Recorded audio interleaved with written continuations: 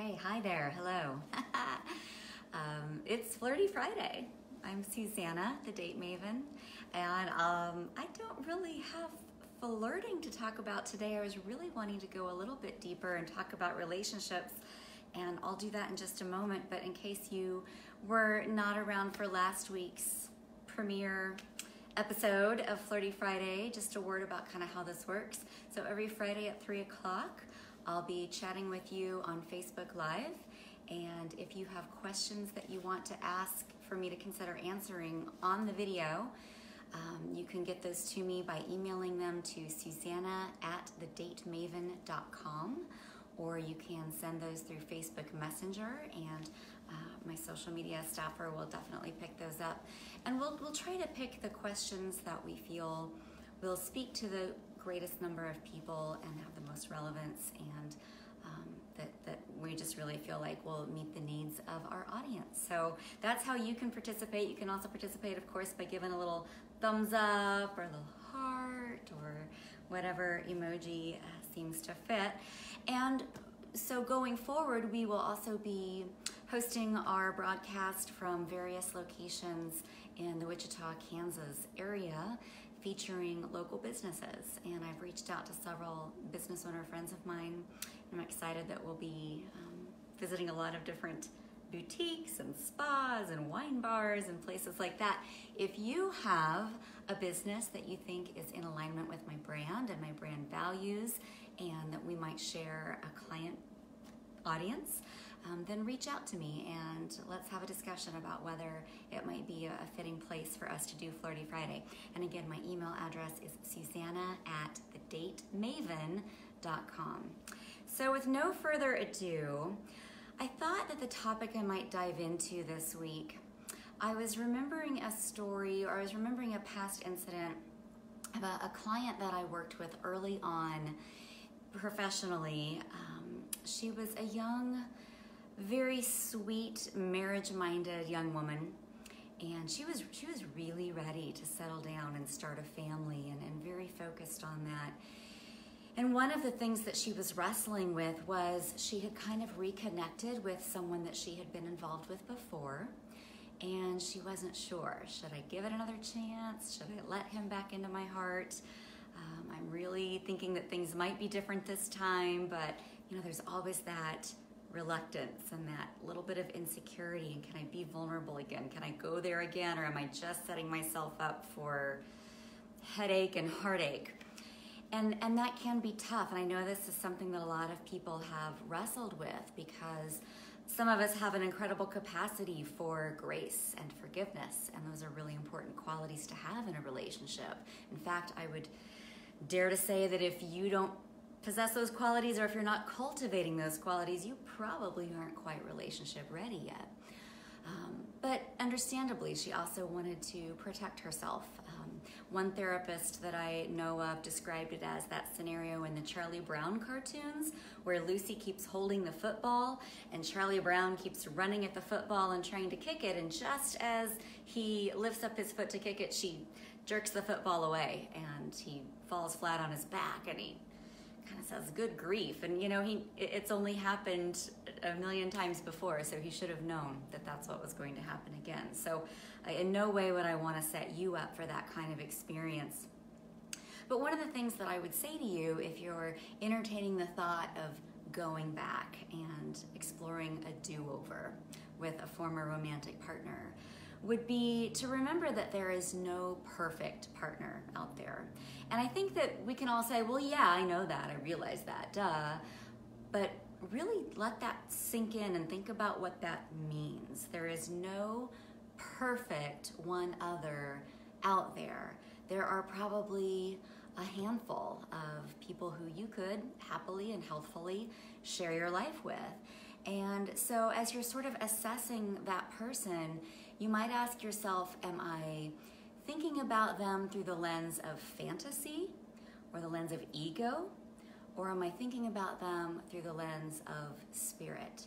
So when we get kind of in our fantasy mind about what a perfect relationship ought to look like and feel like and what the ideal is for us, and they're not meeting my needs and that resentment and that resistance, and, and you, you know what I'm talking about here, we can really get into an ego fed place of what I'm not getting and how this is disadvantaging me and, and I'm, you know, I'm doing all the work and they're just, um, they're not showing up. And, and if we shift to more of a mindset or a heartfelt point of view of what is this, your spirit uh, really leading you to do in that situation, um, then you can begin, I think, to take a little more responsibility for the dynamic that's between you. Uh, asking, am I am I good enough? Is my partner good enough? And I don't mean I'm not talking about like you should settle or you should just lower your expectations to the, the, the bottom common denominator.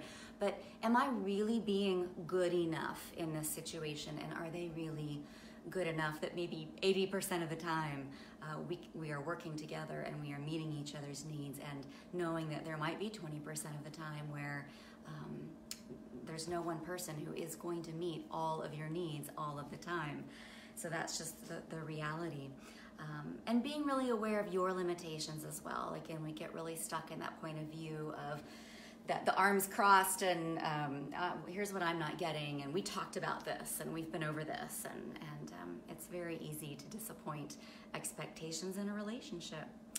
So I want I just wanted to share that as something to chew on this week in that situation of my client who I, I talked to you about at the beginning, she did decide to re-enter that relationship because a lot of the external circumstances had changed. Things like his job and his work demands and his travel and his availability and, and maturity and willingness to sort of enter a committed long-term relationship.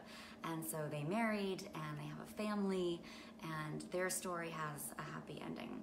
So I want to leave you with a quick exercise, and then I also have a, date to put on your calendar. Sit down with a piece of paper or your journal. Uh, I would prefer you do this by hand because I think that engages the brain a little bit differently and more richly than if you type it, but if you need to type it, do that.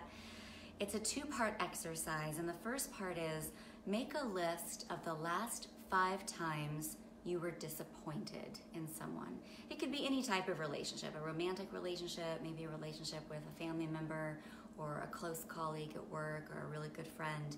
And look at is there a pattern here? All these times I've been disappointed, or I've had my heart broken, or I've been frustrated. What is the pattern of thoughts or behaviors uh, either on your end or on the other person's end and seeing if you see if you can find those common denominators. And then the second part of the exercise is list the last five times you were delighted. And again, look for the pattern. Are there some common themes or common denominators? Now, chances are, if you had an easier time making your disappointment list than your delighted list, let that speak to you a little bit. That might say a little something about how you're showing up in relationships and the lens that you're looking through and what you're attracting to yourself. And if you find that it's as easy to make that delighted list as the disappointed list, then good for you. That's wonderful. You are probably approaching relationships and approaching the world with a sense of positive expectation. And I find that that's uh, a, a type of expectation that tends to pay off. Thank you so much for tuning in and listening. I will be back talking to you next Friday at 3. And, and again, I want to emphasize my goal here is not to talk at you, but with you. So for that to happen, I need to invite your participation and um, your messages are always welcome. Even if, if I don't get to it in the Facebook Live, maybe I can shoot you a private message uh, through Messenger, or if you, you want to say, hey, Suzanna, this is my question, would you let me be anonymous? I will certainly do that. I will respect your privacy. I do want to flag July 27 as the next date for our tentative singles uh, get together. I'll give you details in the blog feed. And if you're not yet getting that blog feed, you can sign up at thedatemaven.com. There is no cost to do that, and you won't land on anyone else's list. It'll just be my list only. Um, I've got my little GDPR privacy policy uh, ready for you to take a look at so that you can be assured that your data is not being disseminated elsewhere. But that is the best way to stay in the loop about special events that I'm involved in hosting for singles in the Wichita, Kansas area. So with that, thanks again. I hope you have a wonderful weekend. Happy Flirty Friday. Mwah.